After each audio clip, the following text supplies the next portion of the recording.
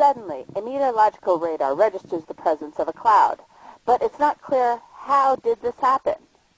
The answer seems to be that this was the result of a military experiment. What are these mysterious trails and what is their purpose? We'll try to find out.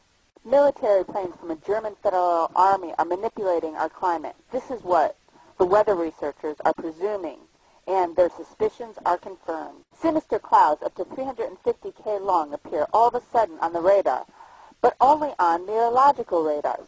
The first time it happened was in the summer of 2005 and then in March of 2006. The German army has admitted having war exercises towards the borders with the Netherlands. For Kirsten Brandt, meteorologist, this is the answer to the enigma. Kirsten Brandt says the federal army is manipulating meteorological maps. We can state with a 97% certainty that we have on our hands chemtrails, chemicals, comprised of fine dust containing polymers and metals used to disrupt radar signals. This is their main purpose. But I was surprised that this artificial cloud was so widespread. The radar images are stunning considering the needed tons of dispersal elements. Although the Federal Army claims that only small amounts of materials were propagated, the military heads claim that the substances used are not harmful. The registers report emissions of chemtrails at low altitude. In the United States of America, there are protests after protests for many years now against the military operations, and now people are mobilizing in Germany as well. For example, Jan-Wells Ramel of the Greens. It is obvious that enormous regions are being polluted with Palestine actions, but all of this has to be made public.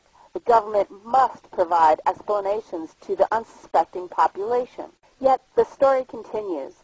In the following three weeks, the instruments register other activities of suspicious aircraft, similar to the previously mentioned, above the areas of Germany. Meanwhile, the satellite imagery is clearly counterfeited by the military. From our observations, we can conclude that they fly over the regions of Westphalia, the Ruhr zone of Saxony and Hamburg, forming really dense layer of aircraft cloud cover.